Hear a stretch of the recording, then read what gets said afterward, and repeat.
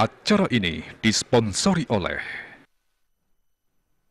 Pemirsa kasus COVID-19 Bali ring tanggal kali likur Juni warsa kali tali kali likur kauningin kantun ageng. Yening sayhang antuk kali bulan pungkuran. Nanging kuentenan inucap sampun tedun yening sayhang ring rahina sedurung nyani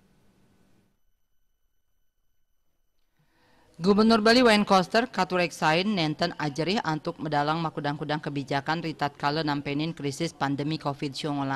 Anutin sesela saning kemargiang Gubernur Wayne Koster sidang ngembasang kebijakan sani mawasana becik majang Bali.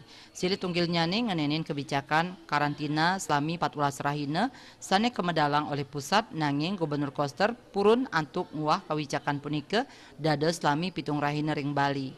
Mejanten pemargi inucap mawasana majang pengerah wisatawan mancanegara ke Bali. Manut akademisi Iputu Sekabawalandre, makudang-kudang kebijakan sani kemedalang oleh Gubernur Bali, sampun pinih becik kerasayang oleh Krama Bali langsung.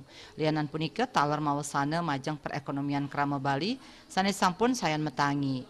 Asa punika talar Bali kapercaya oleh pusat kedadosang tuan rumah KTT G20, sani kedadosang galah antuk nangiang malih pengerah wisatawan mancanegara ke Pulau Bali.